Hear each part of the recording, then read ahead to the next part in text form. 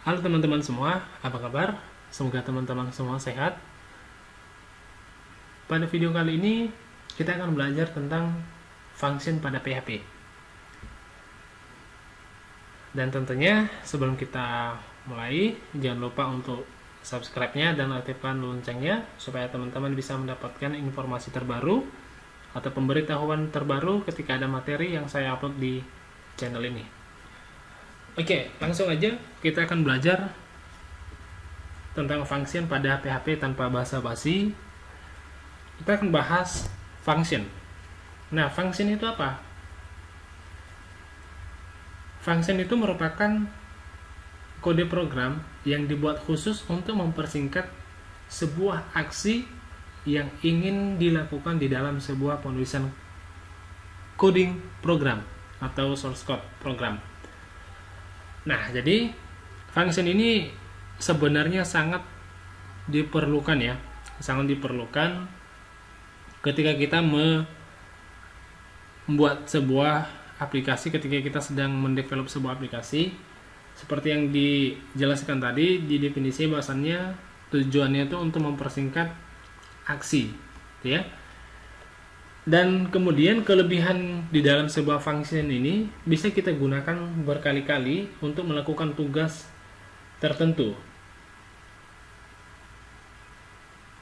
Dan kemudian ada juga function yang atau fungsi function itu juga bisa kita gunakan untuk melakukan sebuah aksi tertentu. yang kita buat sendiri dan hanya dikhususkan untuk melakukan aksi-aksi tertentu di dalam pemrograman di dalam program yang sedang kita develop. Oke. Nah, bagaimana cara membuat functionnya? Ya, bagaimana cara membuat function? Kita lihat contohnya seperti ini. Kita akan buat satu file baru.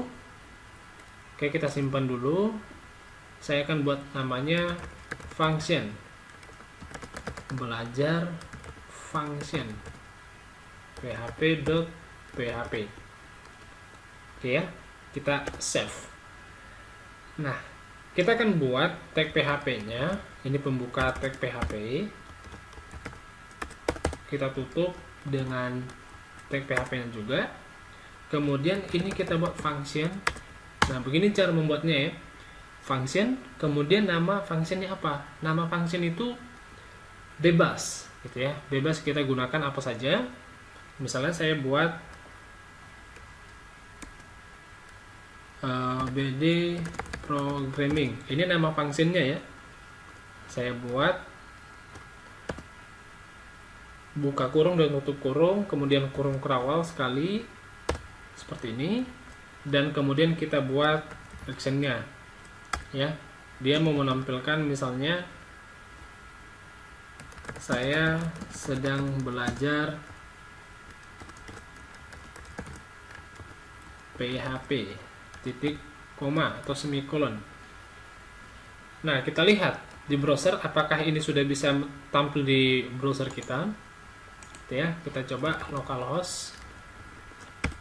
Kemudian dasar PHP. Seperti ini. Oke, kemudian kita lihat. Oke, belum tampil apa-apa. Gitu ya. Nah, jadi sebenarnya di dalam isi di dalam function itu ada ada tapi belum ditampilkan ya. Belum ditampilkan di dalam browser kita. Lalu bagaimana cara menampilkannya?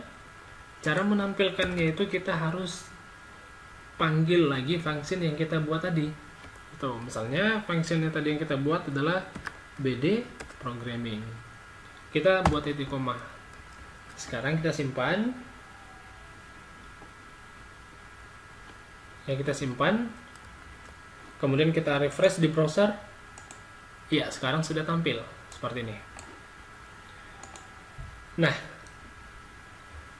kita perhatikan di sini ya ini merupakan nama functionnya ya nama function. Dan nama function ini bebas ya seperti yang saya sampaikan tadi bebas mau digunakan apa saja.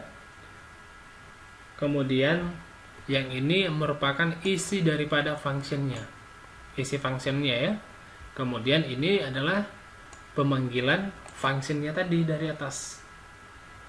Kita panggil supaya bisa menampilkan isi daripada function itu sendiri.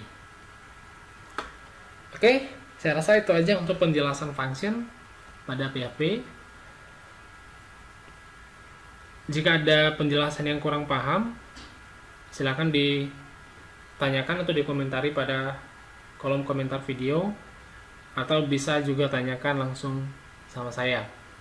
Oke, sampai jumpa di materi berikutnya.